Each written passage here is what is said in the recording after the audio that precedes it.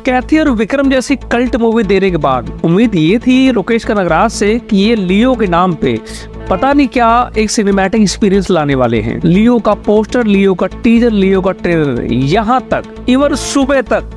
अब वो हाइप बनी हुई थी कि लियो में पता नहीं क्या दिखाने जाने वाला है। वो एक होता है ना, जब कोई काम आप करते हो और कंटिन्यू सेम काम करते हो तो हर बार अपने पिछले काम से आप बेटर काम करते हो। लेकिन यहाँ पर उल्टा है कैथी और विक्रम बनाने के बाद, जहाँ पर इनको एक बढ़िया नॉलेज हुई थी, लोकेश कनगराज को, लगा था कि वो सारे एक्सपीरियंस लेने के बाद यहाँ पर सारा यूटिलाइज करेंगे और कुछ नया दिखा देंगे। लेकिन यहाँ पर ठीक उल्टा हो गया, जो उन्होंने पहले बनाई थी कैथी और विक्रम के नाम पे।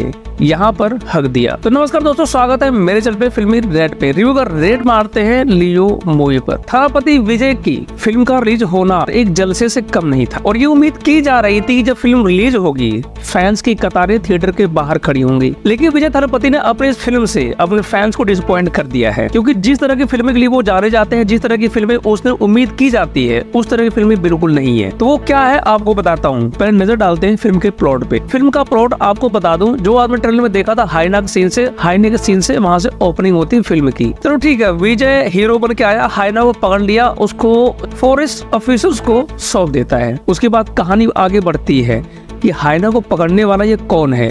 ये अफवाह धीरे धीरे मार्केट में फैलने लगती है, ये बंदा है कौन? ये काफ़ी देर से, काफ़ी सालों से हिमाचल में रह रहा होता है। इसके बारे में, इसके बैकग्राउंड के बारे में किसी को कुछ नहीं पता होता। एक दिन ऐसा होता है कि पाँच गुंडों का झुंड उसके स्टेट में, उसके शहर में आता है और वो एक दो कत्ल कर देता है। और तीसरी बार वो गुंडे हत्ते चढ़ जाते हैं विजय थलपति के हाथ मतलब लियो के हाथ। अभी यहाँ पर वो लियो नहीं है। वो अपना नाम बदल के हिमाचल शहर में रह रहा होता है। अब वो लियो है कि नहीं है, ये सबसे बड़ा सवाल होता है। तो पाँचों गुंडे किसी परिस्थिति में लियो के हाथों मारे जाते हैं। और ये खबर जंगल में आग की तरह फैल जाती है। और ये बात फैल जाती है पूरे नेक्सस मतलब पूरे ड्रग नेक्सस, पूरे गुंडे नेक्सस के बीच में। तो यहाँ पर ये फ़िल्म शिफ्ट होती है उस ट्रैक पे ये साबित करने के लिए कि वो लियो है कि नहीं है। जो हेरोल्ड दास है, जो एंथोनी दास है, ये इसके रिलेशन है। चाचा और बाप हैं। और ये चाचा और बाप मिलके अपने बेटे लियो को मार चुके होते हैं। अब वो रीजन क्या होता है? उसका रीजन बहुत ही हल्का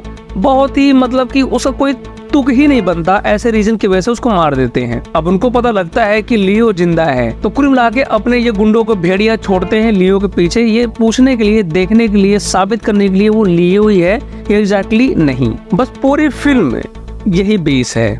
वो लियो है कि नहीं है? जो नहीं जाना, वो ज़िंदा है। जो जान गया, वो मर गया। तो आप सोच रहे होगे, इसमें कहानी क्या है? ये मैं भी सोच रहा था पूरी फ़िल्म देखते हुए।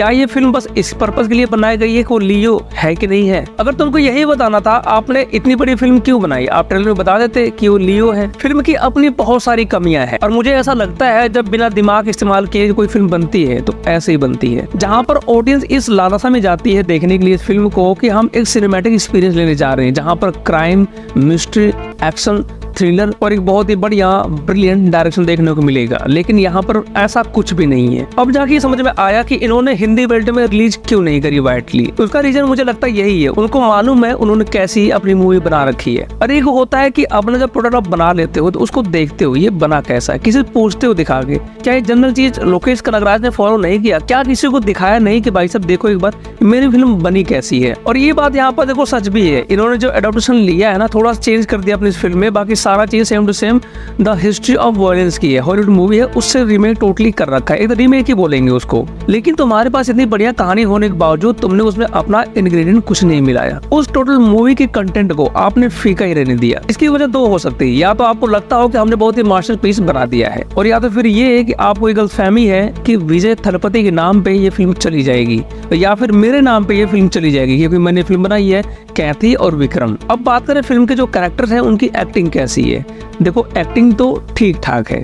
जितनी बेचारों को मिली है, सबने एक्टिंग अपने हिसाब से बढ़िया कर रखी है। हाँ नो डाउट कि सबका जो लुक दिया गया है, वो बहुत ही ज़बरदस्त लग रहा था। एक बार देख ट्रेलर देखने बाद लग रहा था कि ये पता नहीं क्या चीज़ यहाँ पर होने वाली है। लेकिन महज लुक ही है और कुछ नहीं है। और मुझे लगता है यहाँ पर लोकेश कनगराज ने जितने सारे कैरेक्टर है, सबका यहाँ पर अनयूज किया है। मतलब कोई इस्तेमाल नहीं कर रखा है इस फ़िल्म में। वो जितने भी सारे आपको बड़े चेहरे दिखाई दे रहे हैं, उनका काम बिल्कुल ही ज़ीरो है। कुछ नहीं कर रखा है। संजय दत्त आया, लियो पूछा, लियो है कि नहीं? पता लग गया, लियो है, उसको मार दिया। बस संजय दत्त का काम खत्म, वहाँ पर हो गया। ठीक उसी तरह सबको निपटा दिया गया है। अगर आपको याद होगा कैथी और विक्रम, जहाँ पर कंटेंट का इतना स्टफ़ भर दिया था कि पूरी फ़िल्म आप कुर्सी की एज पे बैठ के आप देखते हो। और वो दोनों फ़िल्में शुरू होते के साथ ही अपने मेन ट्रैक लाइन पे सफ़र करनी शुरू कर देती है जहाँ पर ऑडियंस को अपने साथ लेती है। लेकिन यहाँ पर दो घंटे पैंतालीस मिनट की मूवी है, दो घंटे आपको फ़िल्म बोर करेगी। और पैंतालीस मिनट आपको थोड़ा बहुत अच्छा इसे लगेगा क्योंकि थोड़ा बहुत जो एक्शन है, बस वही थोड़ा बहुत देखने लायक है। और वो भी action top of the notes नहीं है। वो एक्शन ऐसे हैं, आपको लगेगा वीडियो गेम चल रहा हो। आप जो सीन देख रहे हो ना, ये स्क्रीन पे, भाई साहब, वहाँ पर जब सीन दिखाया जाएगा, पूरी फ़िल्म में आपको लगेगा ये वीडियो गेम चल रही है। और यहाँ पर जो नेपोलियन का किरदार जोड़ा गया है, वो महज इसलिए ताकि इन फ्यूचर लोकल यूनिवर्स को क्रिएट किया जा सके, उनको बनाया जा सके। यहाँ पर ज़िक्र भी कैथी का दिया यहाँ रेफरेंस दिखा दिया है। जहाँ लियो का किरदार नेपोलियन पूछता है कि क्या सही में थाने पे जो वो बंदूक से वो मारे थे, तुमने मारे थे? उसने बोलता, नहीं, वो दिल्ली ने मारे थे। बस इतना ही ज़िक्र है। और इसके बाद विक्रम का ज़िक्र बिल्कुल लास्ट में है।